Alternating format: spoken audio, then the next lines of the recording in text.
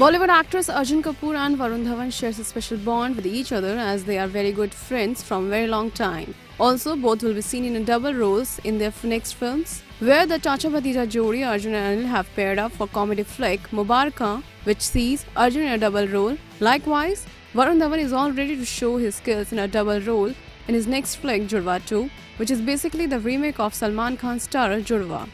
At the trailer launch of Mubaraka, when Arjun's double role was compared with his friend Varun Dhawan's double role in Judwa 2, then Arjun said, Arjun Varun Dhawan also playing a double role in Judwa 2. जी जी जी And now it's you. So जी. do you think uh, is this a new trend in Bollywood?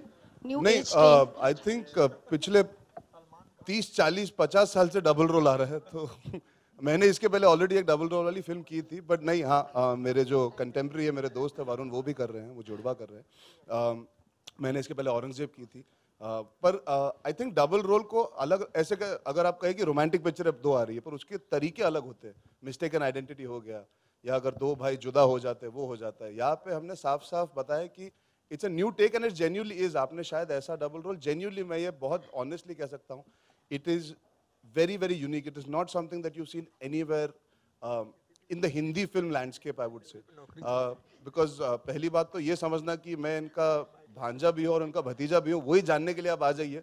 तो आप समझ जाएँगे कि ये डबल रोल में नयापन क्या है बिकॉज़ वो एक थॉट है डबल रोल या एक एक एक बीट है। पर उसको यूज़ करना, उसके साथ कंटेंट बनाना, उसके साथ लोगों को हंसाना, उसके साथ एक स्टोरी बनाना, उसके सैकड़ों तरीके होते हैं। So without comparing and which I would hate कि ऐसा हो, क्योंकि वरुण मेरे दोस्त है। हम सब पिक्चरें अच्छी बनाना चाहते हैं कंपैरेटिव स्टडी ना करते हुए अगर दोनों फ़िल्में अच्छी तरह एंटरटेन कर पाए और अपनी यूनिक आइडेंटिटी होल्ड कर पाए तो आई थिंक इससे अच्छी चीज़ और कुछ नहीं हो सकती by Anis Bazmi, the film will also see Ilyana De Cruz, Athiya Shetty and Anil Kapoor in pivotal roles. It is slated to release on 28th July this year.